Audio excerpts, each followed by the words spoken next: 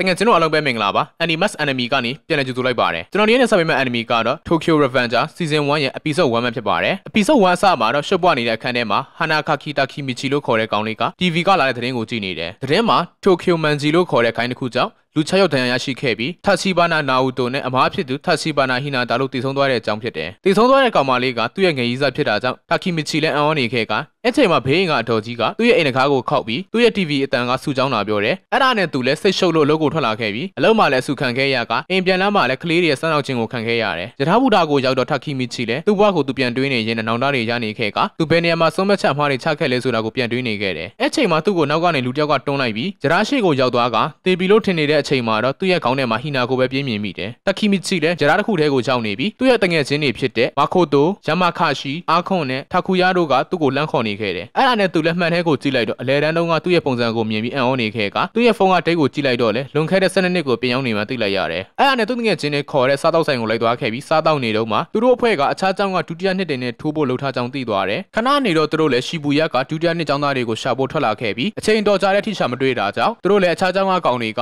သူတို့ကိုကြောက်လို့ပုံနေပြီလို့ပြောနေကြကအဲ့ချိန်မှာသူတို့ရှာနေတဲ့ကျောင်းကတတိယနှစ်ကျောင်းသားတွေရောက်လာခဲ့ပြီးသူတို့ကိုမသိုံတမဲထိုးချိတ်ခဲ့တယ်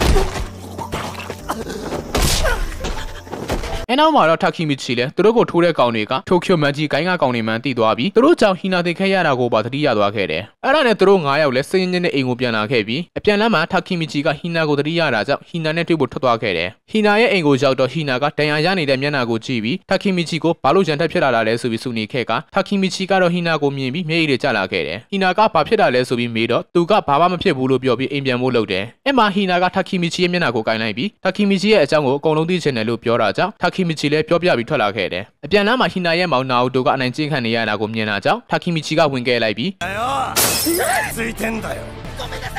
သူတို့နှစ်ယောက်လည်းစကားဆက်ပြောရင်းနဲ့ထာခီမီချီကနာအိုတိုကိုသူအချိန်နေတော့ပြန်ရောက်နေတဲ့အကြောင်းနဲ့သူတို့မောင်နှမနှစ်ယောက်ကတိမ်မဲ့အကြောင်းတွေကိုပြောပြလိုက်ကဇူလိုင်လ၁ရက်နေ့2019မှာသူ့မကိုကယ်ဖို့နာအိုတိုကိုပြောတယ်တာကီမီချီလည်းနာအိုတိုကိုအကိုးမယ်ဆိုပြီးလက်ဆွဲနှုတ်ဆက်လိုက်တော့ပြစ်ဆုပ်ပံကိုပြန်ရောက်သွားတယ်။သူနိုးလာတဲ့အချိန်မှာဘူတာကစေကန်ထဲကိုပြန်ရောက်နေခဲ့ပြီး2018ခုနှစ်9လပိုင်း4ရက်နေ့ဖြစ်နေခဲ့တယ်။သူကရထားတိုက်ခါနီကိုဘလို့တက်ရှင်ခဲ့တာလဲမေးတော့သူနာကိုနာအိုတိုကရောက်လာခဲ့ပြီးသူကယ်ခဲ့တာလို့ပြောတယ်။ပြီးတော့လွန်ခဲ့တဲ့12နှစ်ကတာကီမီချီရဲ့တတိပေးမှုကြောင့်သူစာကြိုးစားခဲ့ပြီးရဲဖြစ်ခဲ့လို့တက်ရှင်ခဲ့ပေမဲ့သူမကတော့တည်သွားပြီဖြစ်ကြောင်းပြောပြတယ်။ဆက်ပြီးတာကီမီချီကအတိတ်ကိုအချိန်ခီးသွားပြီးပြစ်ဆုပ်ပံကိုပြင်ခဲ့တာဖြစ်ကြောင်းပြောပြတယ်။သူစွဲကုန်ကြိုးစားခဲ့ပေမဲ့သူမကိုမကယ်နိုင်ခဲ့ကြောင်းနဲ့တာကီမီချီကသူမကိုကယ်တင်နိုင်မှာဖြစ်ကြောင်းပြောပြရင်အပီဆုပ်ဝမ်းလည်းပြီးဆုံးသွားခဲ့တယ်။အစုံကြည့်ရှုပေးခဲ့ကြတဲ့အတွက်တကယ်ချင်းတို့အားလုံးကိုအထူးပဲကျေးဇူးတင်ရှိပါတယ်။